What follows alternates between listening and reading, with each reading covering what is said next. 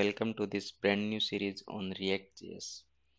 So basically this series is for beginners and intermediate level developers and this is the introductory part in this playlist and in this introduction video we will discuss about what is React.js, why should you learn React.js and what are the prerequisite or what is the tech stack we need to learn before to start React.js. So the point is what is React.js? React.js is an open source JavaScript based library to create the user interface. So with the help of the React.js we can create dynamic UI and another point is that React.js is not a framework it is a library many developers think that it is a framework but it's not correct it is an open source JavaScript based library and with this library we can build rich user interface rich user that means we can provide such UI which is more helpful to the user and where user can navigate throughout our application in a more simple way. React is a large ecosystem. There are millions of followers on the GitHub and Stack Overflow which make which makes it large ecosystem and on these platforms we can get any solution of the any problem in the react.js with the help of the react.js we can also create the single page application where single page application means we will create only one single html page and there are the multiple components we we have to upload in our DOM and these multiple components are re-rendered and these components are created in the react.js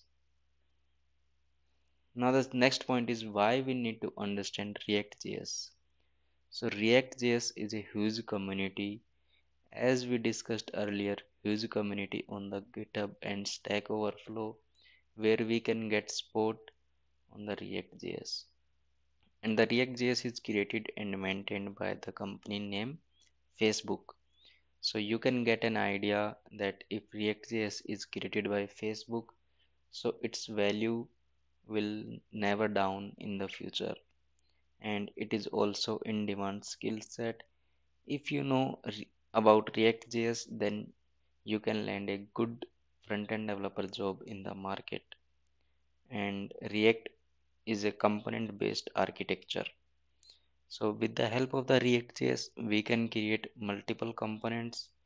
And with the help of these components we can create a complex UI so we have to tell the react how the UI should be look like. React will build the actual UI so basically we according to our requirement we have to think how our UI will be look like. React will build that actual UI React also handle the re-rendering and updating of the components internally. So basically we have to create components in React.js and in the DOM these components are re-rendered and updated. That work is done by the React.js and these components are updated very efficiently means in milliseconds these components are updated in the DOM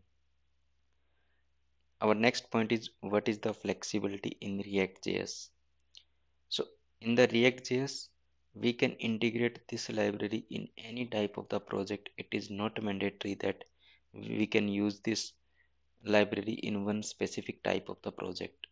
Either a part of the project or the entire project we can build using the react.js so it's not mandatory that the entire project will be created in the react.js if we want if we want to create a small part of the project in the react.js we can also do that. So it's basically more flexible in terms of the integration.